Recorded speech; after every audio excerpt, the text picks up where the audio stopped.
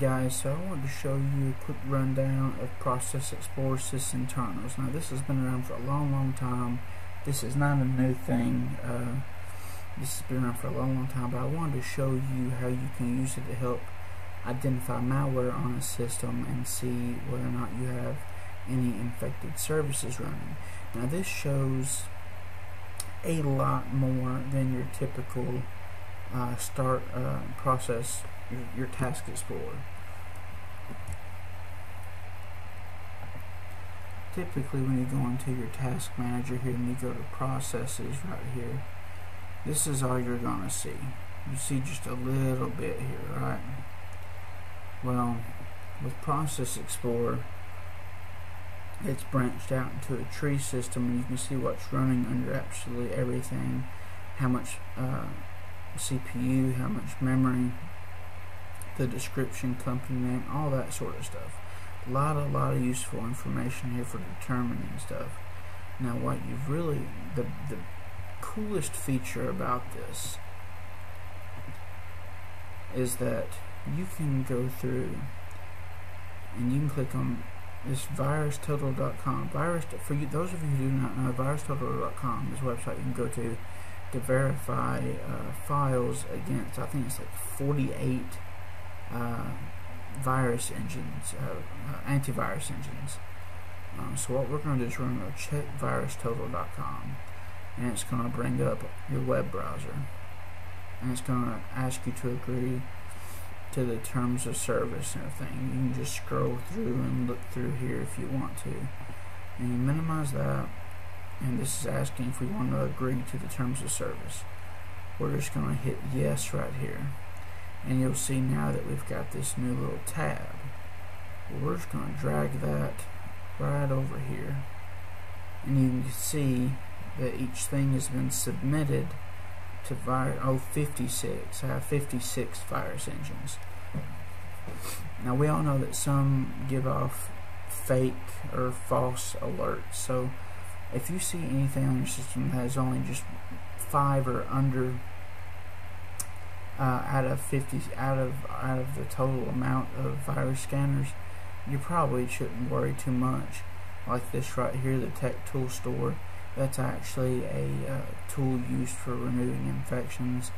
Uh, one scanner has picked up a tool in it and it's actually probably picking up a tool in it called trust viewer um, because it's a remote access software that sometimes shows up as being an infection it's the only one in there that I have not uh, removed from the tool set. So that's probably what that's picking up. Um, but if you were to run this on a new on a, a, system that you knew was infected or you suspected was infected you could run down through here and you would be able to see all the processes that are running and you would be able to see whether or not any uh, malicious uh, processes were running and how much uh, CPU usage they were taking up, how much memory they were running. Fantastic way for identifying infections and just to help reassure that your system is clean of malware. Granted, not every bit of malware runs as a process, but this will help you track your CPU usage and memory usage in a much more uh, extensive way so that you would be able to um, track anything that was eating up too much of your resources so that you could keep a closer eye on that sort of a thing. Um, speaking of memory usage, you can see Google Chrome is eating up a ton of it and I cannot wait for them to release their newest update they've got rolling out here soon that's supposed to reduce their uh, amount of uh, RAM usage. So I am I am greatly greatly looking forward to that because uh, Google Chrome takes up a ton of RAM. But uh, that's a neat feature. Just wanted to show it to you. Now you know how to use uh, sysinternals Process Explorer along with Virus Total to check your processes to see if any of them are infected to help just another thing to check to see if your system is clean or not. Again, if you see something that has a rating of 1 to 5 out of the total, uh, be wary of it. Um, just check it out, see what it is, see if it's something that you can trust, this is a tool that I know is trusted. Um, this is it's just one out of all of them, so it's a false positive. Um, I hope you like this video. If you uh, would like to know more about this tool, comment below. Um, I'll leave a link to it in the description as well. Um, I just created a Patreon account. If you guys would go over and check that out, that would be completely awesome. You could help support this channel and help support future projects.